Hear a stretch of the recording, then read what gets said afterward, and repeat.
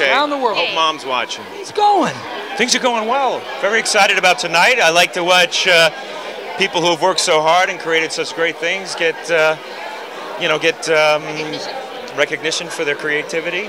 And boy, the, the, the, the show tonight at the Oscars, it is loaded with such a diverse storytelling, diverse place, Yes. diverse films, diverse actors, just doing all kinds of different things. That's exciting.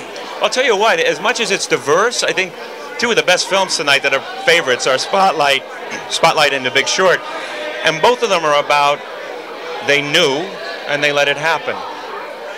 But they're different. One is about material loss, and the other one is about spiritual violation that really damaged people on the inside.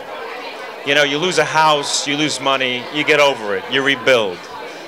But you have you're violated like that and you're hurt so deeply on the inside you may not survive that so two very um, two trem- tr- tremendously well done films similar but very different so we'll see what happens AVTV Live, it's Jesse T in the house to be. Hey, making it for you and me. The Brown Beauty is back on duty on the air and everywhere.